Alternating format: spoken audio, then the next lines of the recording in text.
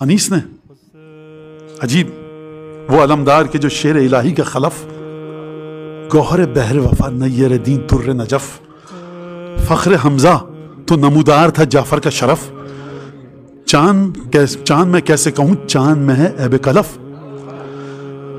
ये अनीस ने वाकन जो एक गैर मासूम मवदत का हक अदा कर सकता है, शायद मैं कहूँ अनीस ने कर दिया। जान जब तक थी इतात में रहे भाई की। थे अलमदार मगर बच्चों की सक्काई की।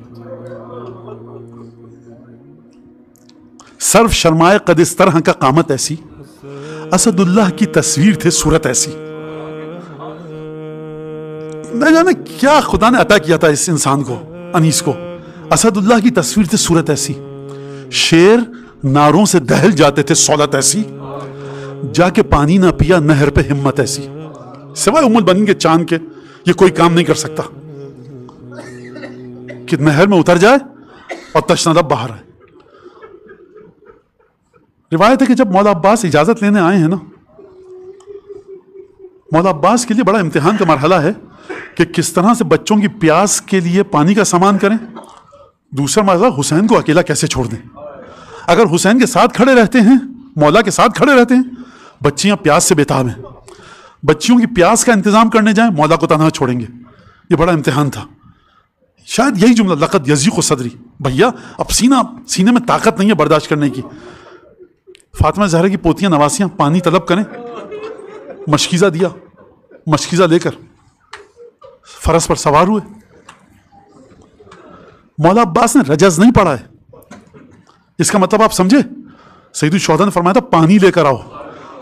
गाजी के पास रजस पढ़ने का भी वक्त नहीं था, क्योंकि हुक्म हुसैन इब्न अली है लश्कर को चीरते लश्कर को चीरते हुए शरीर में दाखिल हुए, मशकीज़ा भरा और रहवार की बागों को मोड़कर नखलिस्तान की ओट लेते हुए खेमे की तरफ़ चले।